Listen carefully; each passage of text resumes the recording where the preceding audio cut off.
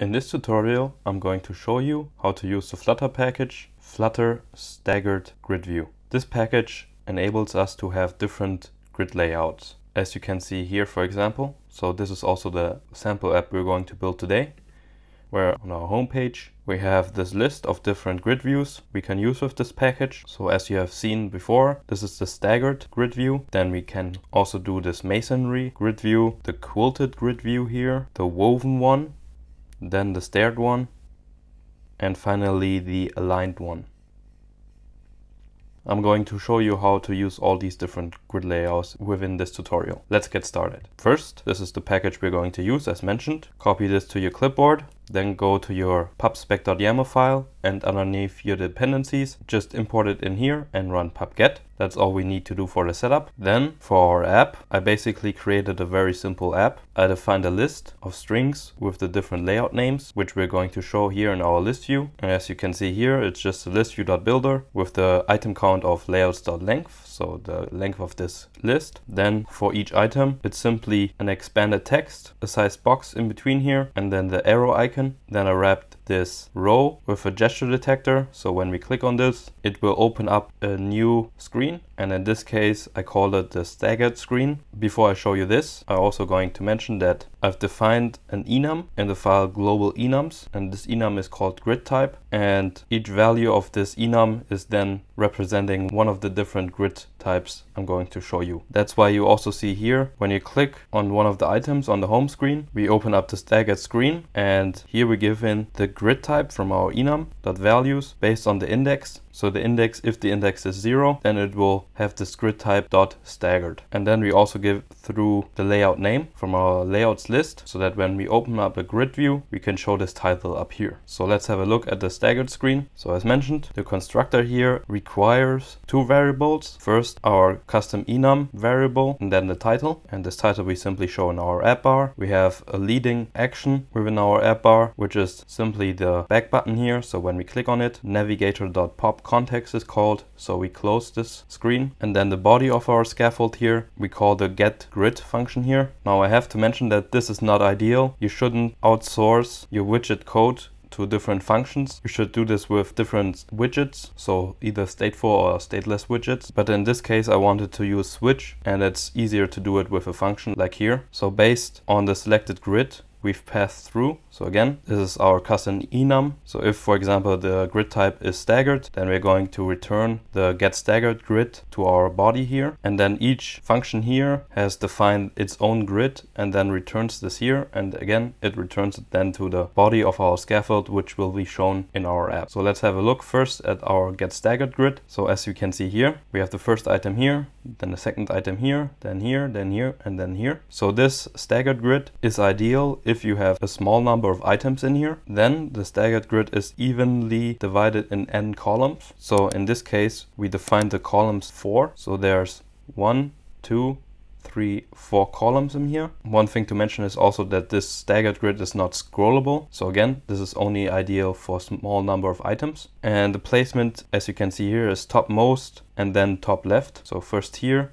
then topmost here. Then in case of here, is it topmost? Yes, since here it's, it's the highest point, since we can't put it here yet. And then where should we put the third in this case? So number two, should we put it to the right or to the left? And again, since it's topmost and then leftmost, that's where we place the next item here. And then is it topmost? In this case, this is only remaining, so we place it the next item here, and so on. I defined spacing in between the main axis and the cross axis. The main axis padding is basically here, and the cross axis is this here.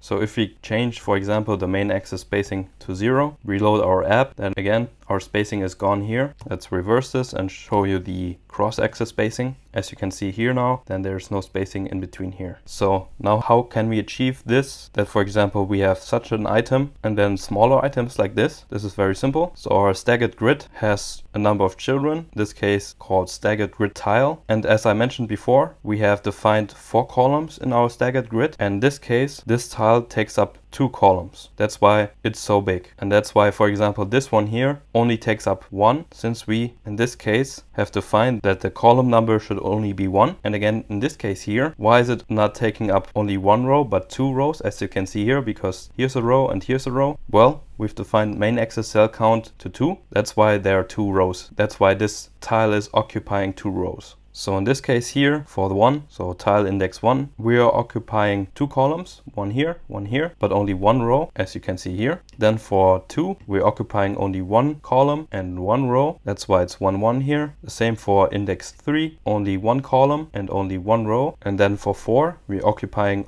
all the columns in here, four, as you can see here, four, and we're occupying two rows. So as you can see here, one and two. So if we change this to four, as you can see here, this gets a lot bigger. That's it for the staggered grid view. Now let's have a look at the masonry grid view. Here again, the grid is evenly divided into n columns and one tile must only occupy one column. And the placement again here is topmost and then leftmost. So 0, 1, 2, 3. Then since this is the topmost here then for the next item, that's why 4 is placed here. Then the next topmost leftmost is 5 here. Then the next here is the topmost leftmost is 6. Then what do you think is the next topmost leftmost? So if you were going with this pattern you would expect here to be 7 but this is not the topmost since here this is the topmost that's why 7 is here. And then the topmost is in this case here so that's why 8 is here. Then again what's the topmost here after 8? Since this is the topmost here again we place 9 here. And again also here I defined the padding for the main axis here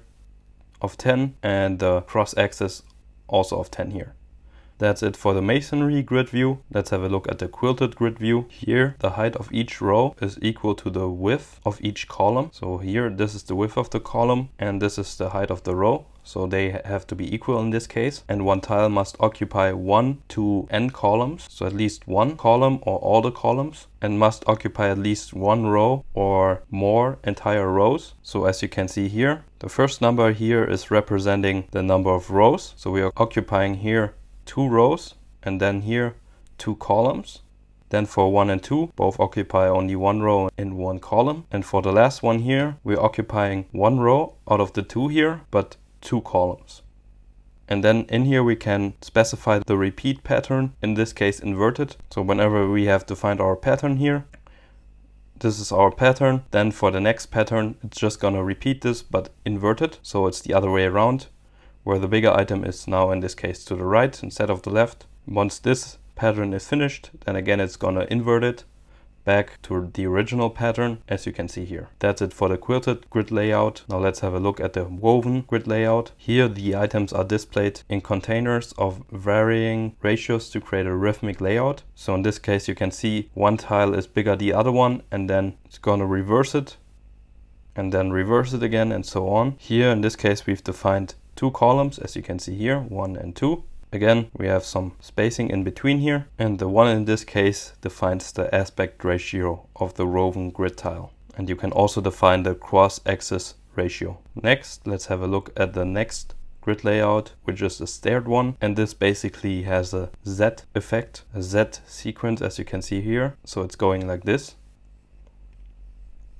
and you can be very creative with this. You can try out different values if you want to. And finally, let's have a look at the aligned grid view where we simply have one row where each child must be at the same height of the biggest child within this row. So for example, if the zeroth item was this high, but the first item was this high, then the zeroth item, even though it was only this high here, has to be as this big as the first one. Here we define again, we have four columns. We have again spacing of 10 in between the main axis and the cross axis. So this extent is just something to make this look a bit more fancy, to show you how this will look like. But of course this should be according to your own widget. Since this tile is simply a container with a background color and where you customly define the height of the container and then within this container you center simply this number here. So this extent basically means that the numbers 0 to 3 should have the height of this height here and then the numbers 4 to 7 have a bigger height, then it's again smaller, then again bigger and so on. I hope you liked this tutorial. Please leave a like and subscribe. If you have any questions, feel free to ask them down below in the comments and thank you for watching.